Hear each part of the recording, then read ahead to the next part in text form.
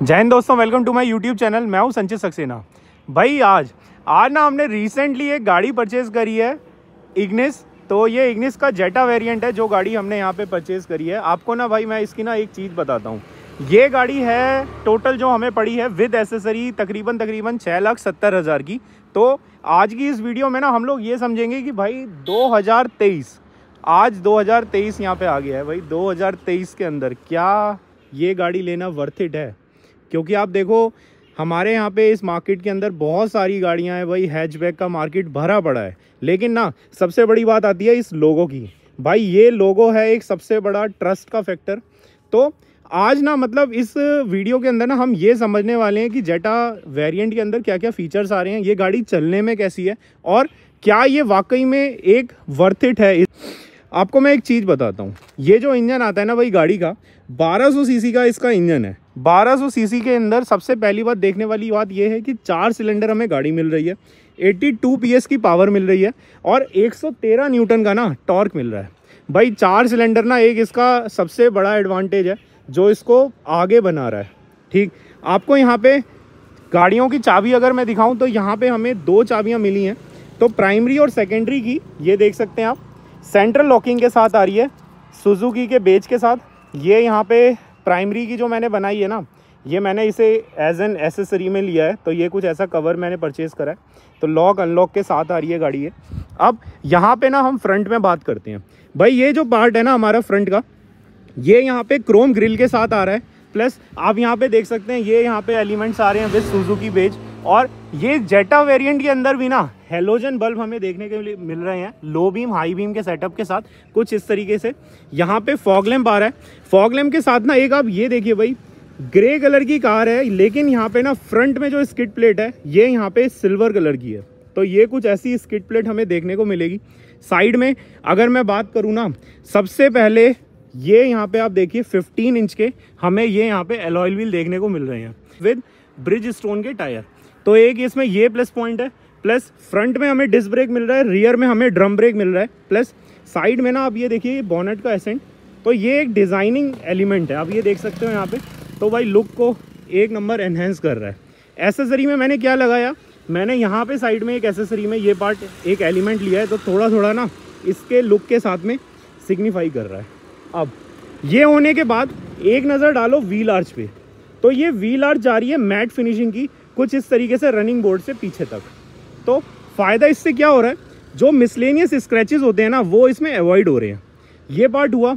यहाँ पे आप देखिए, ये ओ आर वी एम आ रहा है साइड टन इंडिकेटर के साथ में। तो electrically foldable O R V M हमें यहाँ पे देखने को मिल रहा है। प्लस ये ए पिलर मैट फिनिशिंग के साथ में ए पिलर आ रहा है। तो भाई, गाड़ी में अगर मैं साफ़ सफ़ाई भी कर रहा हूँ ना तो मिसलेनियस स्क्रैचेस यहाँ पे अलाउ मतलब नहीं हो पा रहे। तो मैट फिनिशिंग का एक सबसे बड़ा फ़ायदा ये है दूसरा फ़ायदा, जो मैंने यहाँ पे एसेसरी ली है, एक सेकंड एसेसरी ये है रेन वाइज़र तो ये रेन वाइज़र हमें पड़ा है। इससे फ़ायदा क्या हो रहा है ना? भाई गर्मियाँ हो रही हैं या फिर आप मान के चलो इस टाइप के हो कि स्मोकिंग की आपको हैबिट है या बारिश हो रही है ना तो यहाँ से भाई इजीली ना पानी अंदर नहीं आएगा। तो ये पार्ट एक हुआ प्लस इसका रूफ रेल भाई ये इंटीग्रेटेड रूफ रेल आती है। ये देखो it's a part of the body इससे होगा क्या? कुछ ऐसी स्टेट हैं जहाँ पे लगेज कैरियर लीगल है। तो वो एसेसरी में ना आप यहाँ पे ले सकते हो प्लस 50 के तक का ये यहाँ पे वेट उठा सकती है। इसके साथ में साइड एलिमेंट में ना आप ये देखो बॉडी कलर डोर हैंडल है, लेकिन ये यहाँ पे रिक्वेस्ट सेंसर मिल रहा है हमें कीलेस एंट्री के लिए। तो ये पार्ट हुआ। इसके साथ में बी बी पिलर जो हमारा आ रहा है, ये मैट फिनिशिंग में हमें यहाँ पे देखने को मिल रहा है। प्लस ये कुछ सी पिलर एकदम सीधा स्लांट ये एक डिज़ाइन एलिमेंट आ रहा है। अल्टी का ये जो व्हील बेस है, चौबीस 2435 mm का है। आप देख रहे हो, चौबीस 2435 mm का व्हील बेस है। बहुत ही अल्टीमेट ये पार्ट हुआ। ये आप देखिए भाई। ये यहाँ पे ना रियर स्पॉइलर आ रहा है। कुछ इस तरीके से एंटीना में देखने को मिल रहा है। रियर में आते हैं। तो रियर में ना, यहाँ पे हमें रियर डिमिस्टर देखने को मिल रहा है plus high mounted LED stop lamp ये रियर वाइपर हो गया। प्लस स्प्लिट टेल लैम्प्स हमें देखने को मिल रहे हैं कुछ इस तरीके से। ये सुजुकी का बेज और इग्निस का बेज प्लस आप देखिए भाई रियर में पार्किंग सेंसर चार पार्किंग सेंसर हमें देखने को मिल रहे हैं।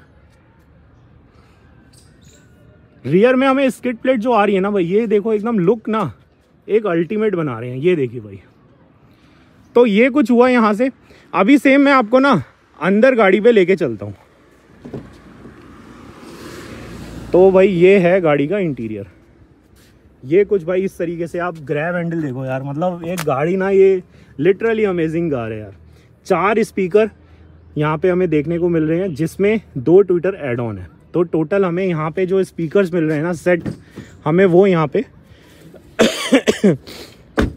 छह स्पीकर्स का हमें सेट मिल रहा है, जिसमें चार स्पीकर हैं, दो ट्विटर हैं। एक ट्विटर यहाँ है, एक ट्विटर वहाँ पे आप देख सकते हो। प्लस ये कुछ इस तरीके से ड्यूल टोन का हमें इंटीरियर देखने को मिलेगा।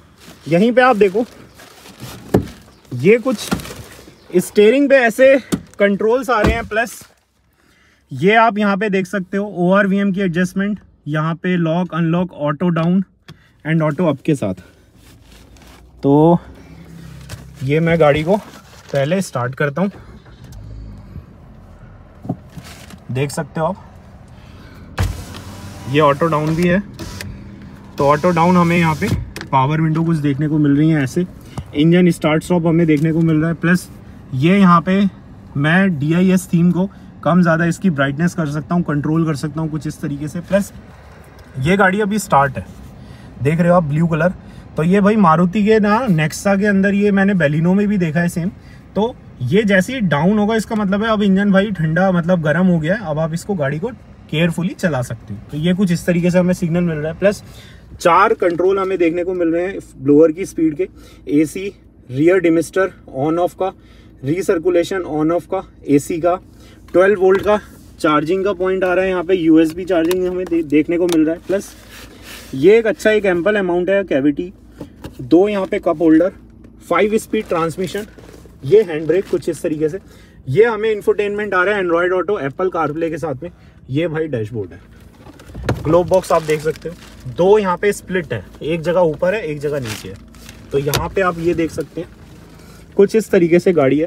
फैब्रिक सीट्स आ रही हैं। ये फैक्ट्री फिटेड है वही फैब्रिक सीट्स है गाड़ी के अंदर। अब मैं आपको ना एक बार सेकंड रो दिखाता हूँ।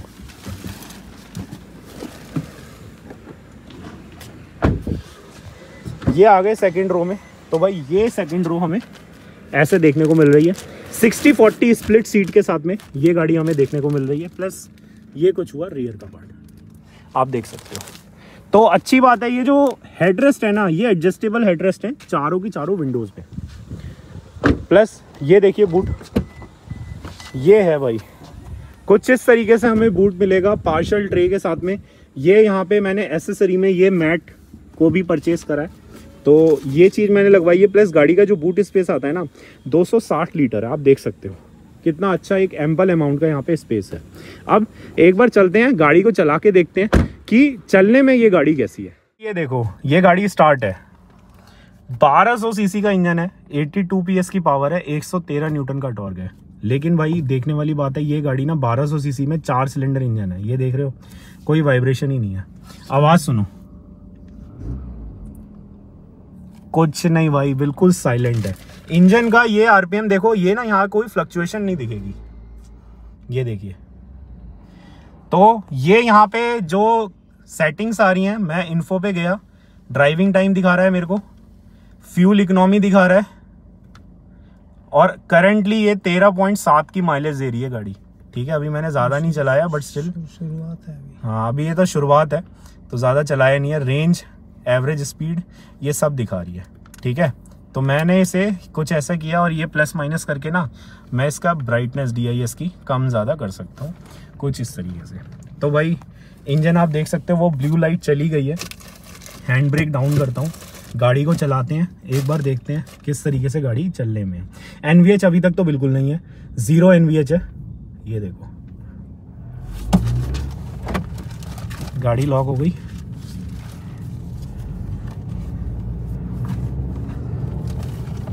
अच्छा मैं देखो, एक चीज़ आपको और बताता हूँ। नई गाड़ी ली है तो आपने सुना होगा कि नई गाड़ी को ज़्यादा तेज नहीं चलाना होता। फ़र्स्ट सर्विस तक उसे अलाउ करो मतलब कि कंटिन्यूस आराम से चलाओ, पचास, साठ से नीचे चलाओ। तो देखो, ये बातें ना पहले हुआ करती थी, ठीक है? जब तक मतलब टेक्नोलॉजी पुरानी थी, तब तक ये बात हुआ करती थी। बट आज के टाइम में ना ऐसा नहीं है। लेकिन ना, पता है क्या है? भाई, आपका हार्ड एंड मनी है, आपने जो गाड़ी ली है छः लाख सत्तर हज़ार कम तो नहीं होते ना? तो भाई, अपनी गाड़ी अपने हिसाब से चलाओ। तो कोशिश करो, जब भी आप नई गाड़ी ले रहे हो ना, साठ, इससे ज़्यादा मत। सिक्सटी टू सेवेंटी की स्पीड पे आप गाड़ी को चलाओ, इससे ज़्यादा मत चलाओ। कम से कम एक हज़ार किलोमीटर तक, ठीक? एक हज़ार किलोमीटर तक और कोशिश करो कि आप गाड़ी को ना अकेले में बैठ के चलाओ।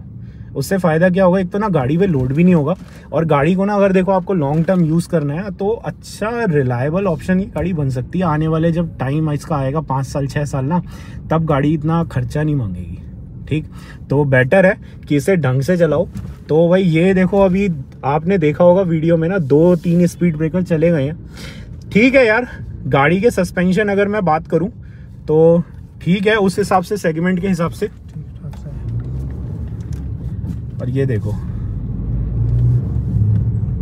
भाई, इसका आवाज़ जैसी जो 2000 से तक आरपीएम पे आती है ना, वो जो एक थंब आ रहा है ना स्पोर्टी सी साउंड आ रही है इसमें। लिटरली एक बहुत अच्छा ऑप्शन है। तो ये है कुछ भाई गाड़ी चलने में। गाड़ी का मैंने अभी एसी ऑन कर रखा है। एसी ऑन करके गाड़ी चला रहा हूँ। हालाँकि सर्दियाँ हैं बट स्टिल एसी इसका अच्छा इफ़ेक्टिव है। अच्छी बात है भाई, मेरे को ना वाइब्रेशन यहाँ फील नहीं हो रही है। कोई भी यहाँ पे वाइब्रेशन नहीं आ रही है। और ये देखो टाइट स्पॉट पे। ट्रैफ़िक की कंडीशन है या कुछ भी आप कैसे भी चला रहे हो ना, आपको मैं इसका टर्निंग रेडियस दिखाऊँ? ये देखो। कितना सही है। देख रहे हो? भाई लिटरली ये गाड़ी देखो कंजस्टेड रोड पे अगर ट्रैफ़िक है, कुछ है ना इजीली ये गाड़ी मुड़ सकती है। अच्छी बात है, अगर इस गाड़ी को कोई बंदा परचेज कर रहा है, कोई यंगस्टर है कॉलेज गोइंग स्टूडेंट है, उसके लिए बहुत बढ़िया ऑप्शन है, ठीक? वैगन आर सेगमेंट के अंदर ये गाड़ी हमें देखने को मिल रही है प्लस ये जो कार है, भाई वैगन आर से भी ना टेंटिवली तीस से पैंतीस हज़ार रुपए सस्ती है ये गाड़ी, ठीक है? एक ये इसका सबसे बड़ा पॉइंट है। दूसरा कॉलेज गोइंग स्टूडेंट यंगस्टर अगर कोई भी है भाई, इस गाड़ी को डेफिनेटली ले सकता है। क्यों? क्योंकि एक तो ना रोड प्रेजेंस इसकी बहुत अच्छी है, एकदम हट के लुक है। और मैंने आपको बताया ना, देखो ये वैगन आर से कम्पीट कर रही है। तो अगर एक यंगस्टर है या कॉलेज गोइंग स्टूडेंट है ना तो फॉर श्योर वैगन आर के सामने अगर मैं इग्निस रखूँगा ना तो मेरे हिसाब से तो इग्निस ही चॉइस होगी। आप लोग कमेंट्स में बताओ, आपका क्या ओपिनियन है? दूसरी चीज़, एक अच्छी बात है इस गाड़ी के साथ ना, ये सुजुकी का बेज आ रहा है। भाई, ये जो सुजुकी का बेज है ना मारुति की जो कार है ना लिटरली एक ट्रस्ट वर्दी है। सबसे बड़ा मार्केट शेयर हमारे देश में मारुति का है, ठीक? गाड़ी का रीसेल कोई हेम्पर नहीं होने वाला टच पॉइंट सर्विस के आपको हर जगह मिलने वाले हैं plus by four cylinder Wagon R जो गाड़ी आती है ना, तीन सिलेंडर पे आती है और हज़ार सीसी का इंजन आता है उसका। तो बेटर है कि भाई इग्निस पे जाओ, थोड़े अच्छा पैपी ड्राइव मिलेगी, साथ ही साथ पार्ट्स का मेंटेनेंस का भी कोई दिक्कत नहीं है। इजीली आपको हर जगह इसके टच पॉइंट मिलेंगे।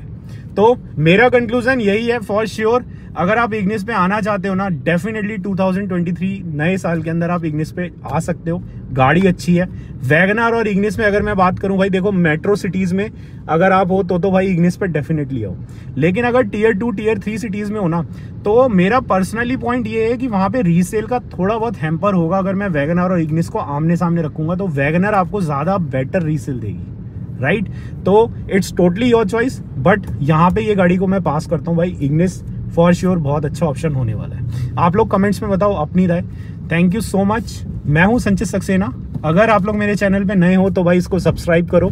इस वीडियो को लाइक करो। शेयर करो उन लोगों के साथ में, जो लोग अभी नई गाड़ी देखना चाह रहे हैं। नई गाड़ी का प्लान है। Thank you so much